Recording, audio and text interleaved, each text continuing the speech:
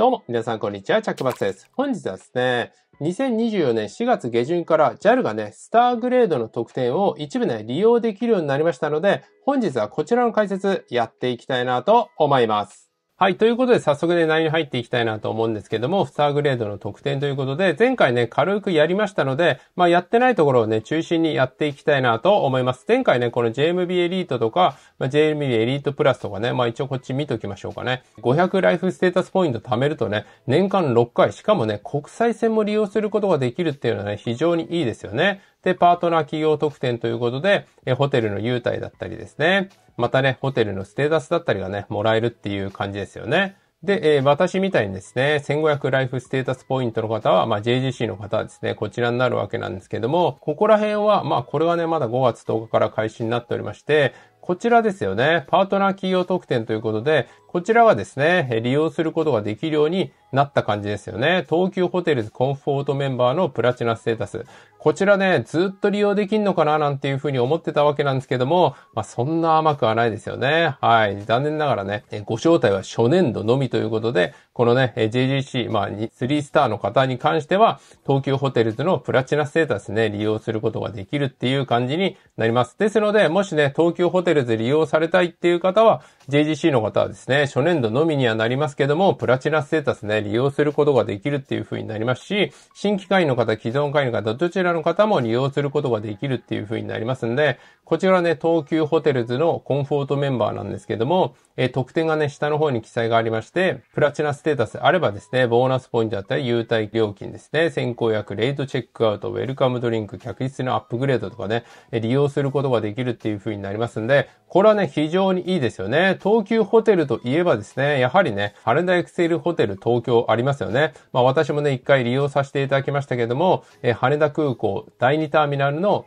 直結にね、あるホテルということで、こちらがね、え東京ホテルグループっていう風になりますんで、もう私もね、コロナ禍に確か修行した時にね、え泊まってね、レビュー動画出したと思うんですけれども、こちらがですね、東京ホテルということで、もしね、こちらのホテルに、まあ、全泊とかね、え利用される方は、この特典利用してですね、プラチナステータスになっていただいて、え直予約していただければですね、ここら辺の特典がね、利用することができるっていう風になりますんで、客室のグレードアップはいいですよね。このホテルね、あの、私もね、飛行機がね、見える部屋をわざわざ、あの、指定してね、利用させていただきましたけども、えー、もしかしたらですね、アップグレードお願いした時にですね、飛行機が見える部屋にしてくださいみたいな感じでね、リクエストしたら、もしかしたら通るかもしれないんでね、これで利用していただくのはね、非常にいいですよね。ちょっと私もね、ステータスね、利用してちょっと泊まってみたいところですよね。初年度のみということで、1回しかね、利用することができませんので、まあ、この点はね、注意が必要かななんていうふうに思うわけなんですけども、まあ、東京ホテルね、プラチナメンバーで利用することができるっていう感じですよね。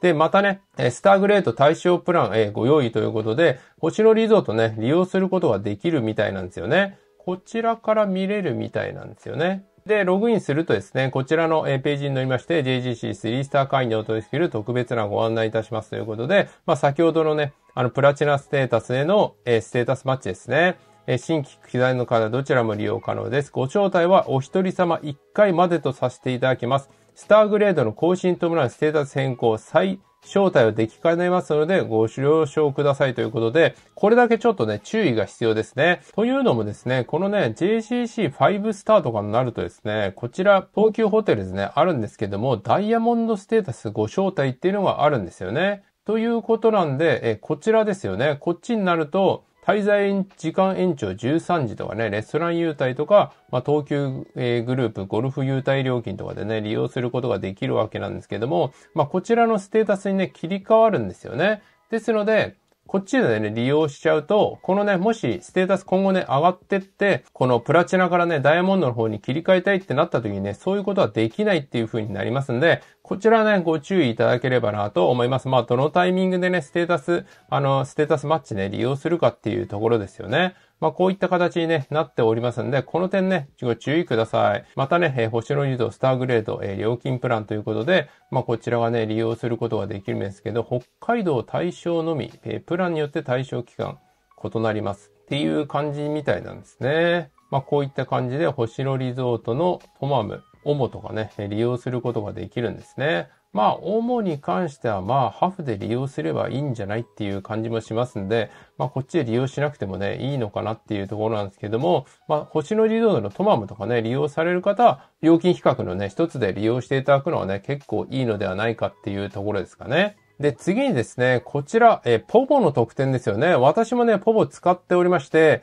ぜひね、こちら、えー、JAL ね、あの、乗られてて JGC 持っている方はですね、ポボね、データ使い放題7日間無料プレゼントもらえるんであればですね、まあ、1個ぐらい回線持っててもね、損じゃないかと思うんですよね。というのも、このポボっていうのはですね、あの、何にもしないとね、お金かかんないんですよ。使いたくなったら、まあ、課金して使うみたいな、まあ、書いてありますけれども、基本料ね、お金かかんないんですよね。ですので、まあ、1回戦ぐらいね、持っといていただいて、あの、利用していただくのはね、いいのではないのかなと思います。このね、ポボ、えー、7日間データ使い放題無料のね、プロモーションコードをもらえる時だけ使ってもいいと思いますし、またね、このポボのいいところはですね、海外でもですね、課金して利用することができるっていう風になりますんで、まあ楽天モバイルもね、先日この最強プランね、14,000ポイント、あの乗り換えでもらえてね、私はまあ7000ポイントもらうためにね、こちら利用させていただいたわけなんですけども、まあこちらでね、乗り換えがね、1万4000ポイントじゃないですか。まあ、こういったのもですね、ポボ1回戦持っとくとね、利用することができたりですね、まあ、楽天モバイルね、海外で2位が利用することができますけども、まあ、これでね、足りなくなった時とかに、まあ、このね、ポボで、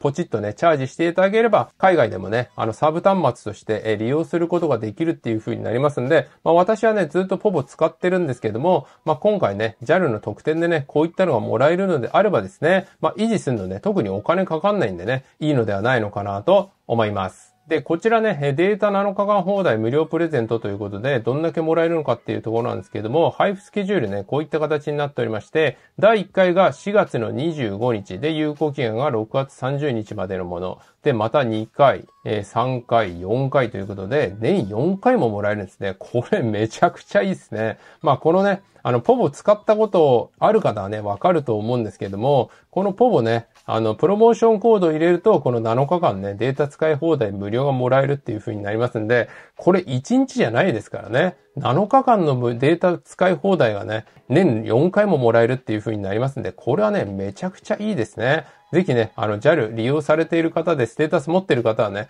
年4巻もらえますのでね、ぜひ、こちらね、利用していただければなと思います。まあ一応ね、このページにないんですけども、紹介プログラムもあってね、紹介で入ると、紹介された方は、データボーナス100ギガ3日間ね、もらえるみたいですので、まあ、もしね、利用されたいっていう方は、ぜひね、概要欄に載せておきますんで、そこからね、あの、解説していただければなと思います。まあ私はね、個人的にはね、このキャンペーンで1万4000乗れなかったので、本当に悔やんでますので、本当にね、1個ぐらいね、これはね、持っといてね、いいんじゃないかなと思います。えそれでは JGC4 スターですね。こちらはね、ちょっと意外だったんですけども、まあ私はね、普通にあの、ディズニー系の特典なのかななんていう風に言ってたんですけども、ユニバーサル・スタジオ・ジャパンのね、優待なんですね。ユニバーサル・スタジオ・ジャパン内 JAL ラウンジの利用であったり、JAL ユニバーサル・エクスプレスパスのご提供ということで、こういったのがね、利用することができるんですね。ですので、4スターの方はね、いいですよね。で、またね、ホテルの優待もね、ちょっとプラスになりまして、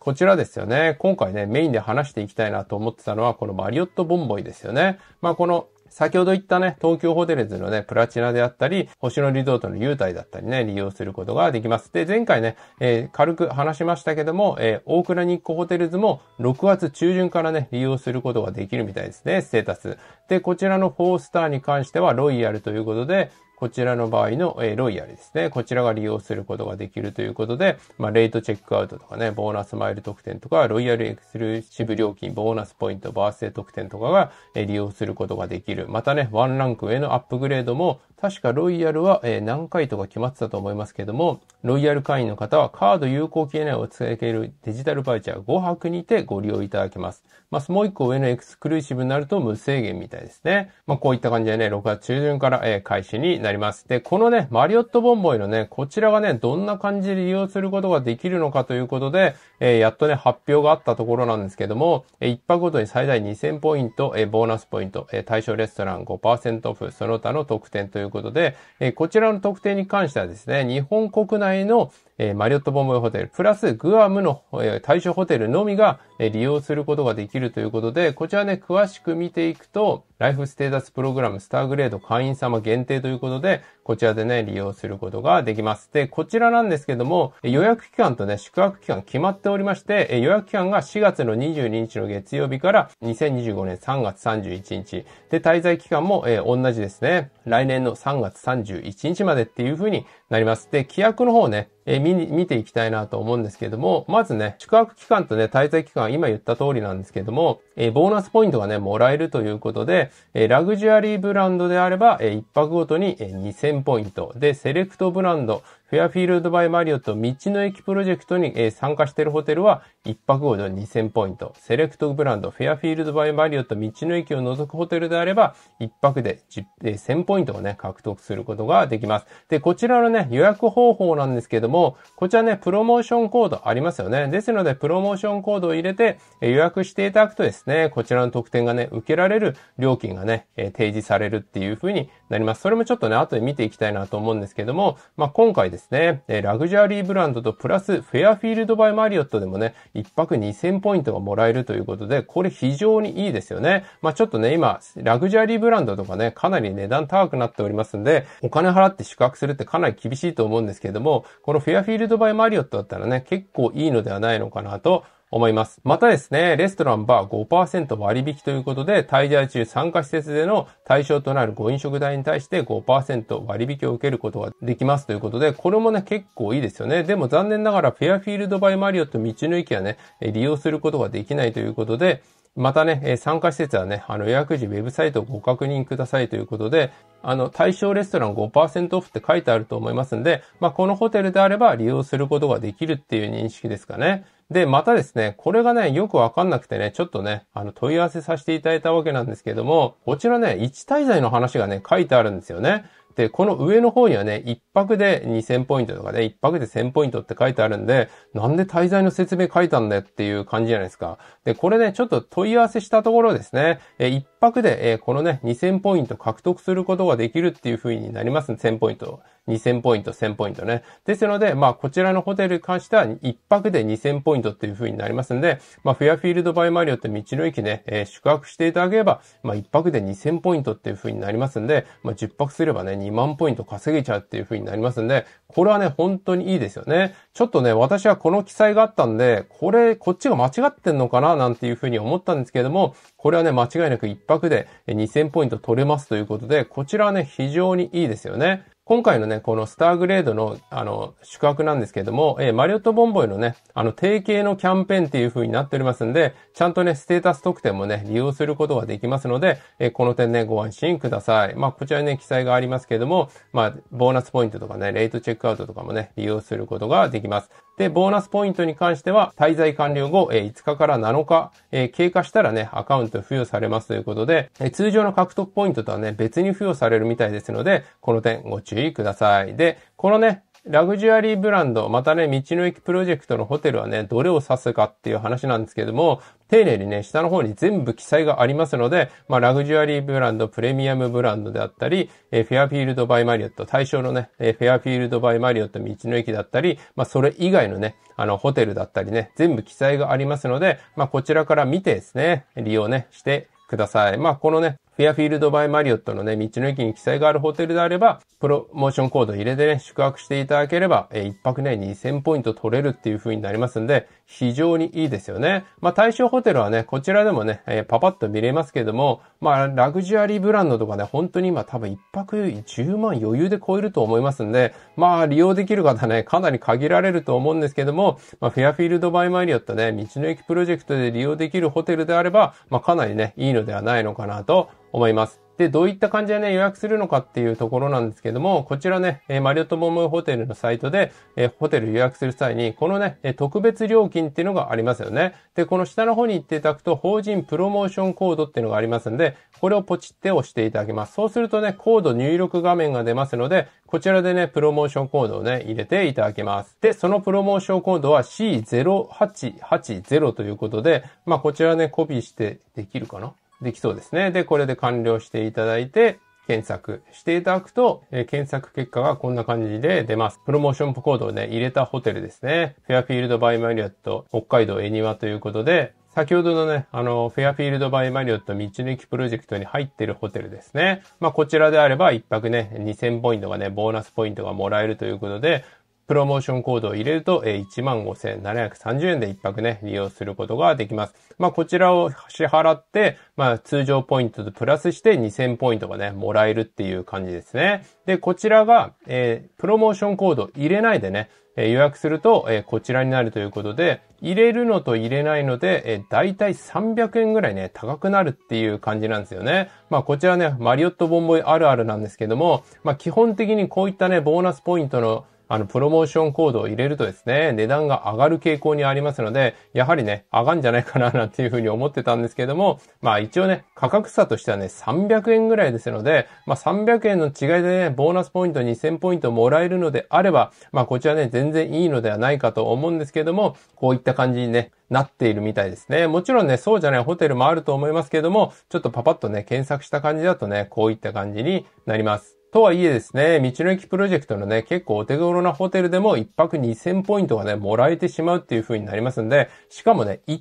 泊でもらえますからね、これも結構大きいですよね。まあ1滞在だとね、連泊するとね、もらえなかったりするんですけども、まあそういったわけでもなくてですね、えもらうことができるっていう風になりますんで、これはね、非常にいいですよね。それでは JGC5 スターですね。まあ、ここからですね、まあ、前回やったのとですね、特にね、えー、増えたものってないと思うんですよね。まあ、これの解説もね、前回させていただきましたので、まあ、このユニバーサルスタジオの JAL ラウンジの利用できたり、エクスプレスパスがもらえたりですね。で、ライフスタイルも、まあ特に変わってないですよね。で、ホテルに関してはちょっと先ほどこちらのページ見ましたけどもね、まあ6月中旬からね、エクスクルーシブのね、会員のご招待ね、始まりますので、まあこちらね、あと2ヶ月後から開始っていうところですよね。まあそれ以外は変わらないっていうところで、で、次に、え6スターですね。12,000。まあ、こちらもね、あの、前回ね、えー、ある程度のところやりましたので、まあ、今回に関しては、まあ、これもね、同じように利用することができて、まあ、ライフスタイルも同じですよね。で、ホテルが、このね、6スターになると、エクスクルーシブね。これもさ、まあ、これはさっきと一緒なんですけどね。まあ、ダイヤモンドになったりね。まあ、こういった感じでね、利用することができるっていう感じですよね。それでは次にですね、動画を撮っててね、ちょっとね、気づいたんですけども、ほぼのね、配布時期、もうね、開始になっておりまして、私ね、届いてないなと思ってたらですね、こちらね、JAL マイレージバンクアプリでね、受け取るということで、受け取り方もですね、一緒にね、やっていきたいなと思います。ということでね、これにね、画面出しておきますので、JAL マイレージバンクアプリでね、このプロモーションコードを受け取るということで、やっていきたいなと思います。注意していただきたいのは、JAL アプリではなくて、JAL マイレージバンクアプリね、この、今ね、映ってるね、こちらのアプリですね、JALPay が利用できるアプリですね。こちらをね、クリックいたします。で、まずですね、アップデートしといてくださいね。あの、最新版にアップデートしていただいてから、えー、ま、アプリ開いていただいて、この下の方に行っていただくと、えっ、と、クーポンってのがありますよね。こちらの、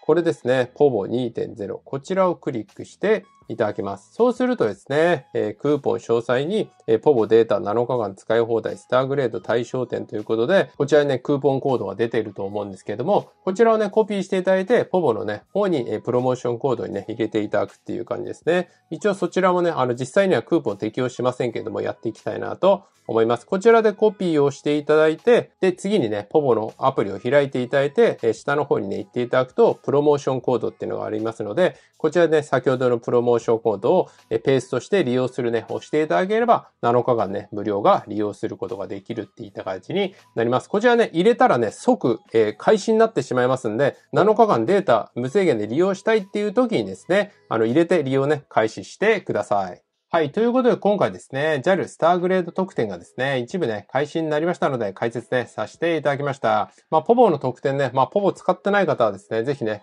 契約していただければこちらね、利用することができますんで、まあ、基本料金ね、0円ですので、結構おすすめかな、なんていうふうに思います。またね、マリオットボンボホテルの方はですね、まあ、4スター以上の方にはなりますけれども、非常にね、いいのではないのかな、なんていうふうに思いますので、ぜひね、利用していただければなと思います。ということで今回の動画はこんな感じで終わりたいなと思います。この動画が役に立った方は、いいね、チャンネル登録ぜひお願いいたします。私ブログ、ツイッター、インスタグラム、LINE 公式アカウント、最近ね、LINE 公式アカウントで TP 診断、マイル診断、マイルクレカ診断、ポイントサイト診断ね、こちらから無料で利用することができまして、え先日からね、始まっているアメックスゴールドプリファードのね、新規入会キャンペーン、こちらね、今まで過去にですね、保有されてた方は、キャンペーン対象外っていうね、話だったんですけども、解約後半年経過すればですね、再入会 OK っていうね、話が確認取れましたので、もしね、昔持ってたから、え諦めてたよっていう方は、このね、新規入会キャンペーンぜひね、検討していただければなと思います。ということで、今回の動画はこんな感じで終わりたいなと思います。それではまた次の動画でお会いいたしましょう。バイバイ